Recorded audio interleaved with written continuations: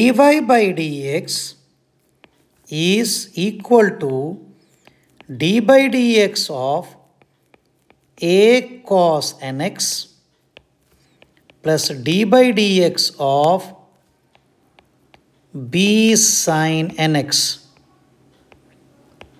Will give you minus a n sin nx plus bn cos nx. Very easy to understand. dy by dx. Now again d by dx of dy by dx will give you d by dx of minus an sin nx plus d by dx of bn cos nx. So what we get here?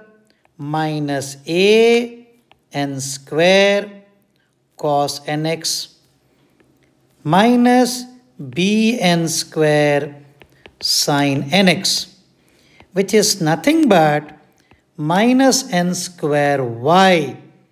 So finally we get required result d2y by dx square equal to minus n square y. The same equation you might have seen in the physics also in simple harmonic motion.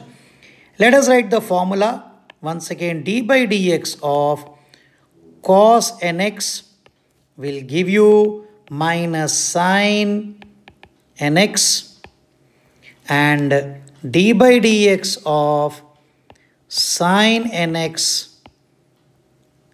sine x into n will give you, this is within the angle, you get n cos nx. So using the both results here we got d2y by dx square equal to minus n square y. Similar result you might have seen in the physics d2s by dt square is equal to minus ks.